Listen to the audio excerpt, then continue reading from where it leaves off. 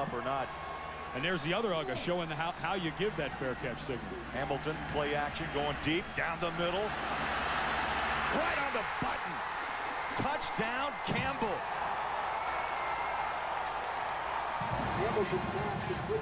Kelly Campbell, a freshman, eight receptions through 10 games, and it pulls down his first and 55-yard bomb.